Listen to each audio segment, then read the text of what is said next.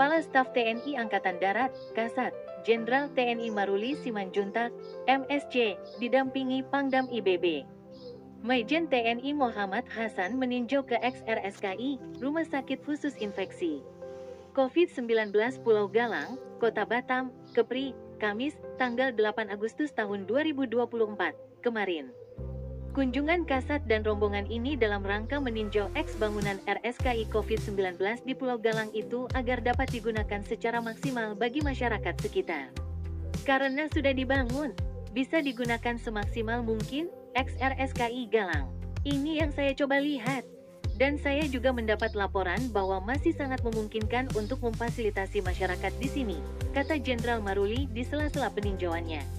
Jenderal Maruli menyebut, selain melihat anggotanya, dirinya menitip pesan supaya selalu menjaga kekompakan antara TNI, Polri dan Forum Koordinasi Pimpinan Daerah, FKPD, setempat agar kerjasama selalu terjalin dengan baik. Ke depannya rumah sakit ini akan kita fungsikan bagi masyarakat. Karena sebelumnya kan fasilitas hanya mengatasi COVID. Daripada rumah sakit ini sudah sedemikian bagus terus fungsinya sangat terbatas, ya mungkin kita coba alternatif lah, jelasnya. Sebelum meninjau kebangunan XRSKI COVID-19 Pulang Galang itu, Kasat bersama Ketua Umum Persit Kartika Chandra Kirana, Ni Uli Simanjuntak lebih dulu disambut tarian khas Melayu.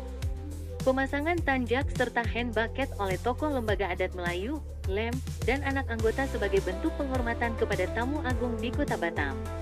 Rangkaian kunjungan ditutup dengan pembagian bantuan 500 sembako, melihat langsung pengobatan gratis warga dan meninjau bangunan XRSKI COVID-19 Pulau Galang.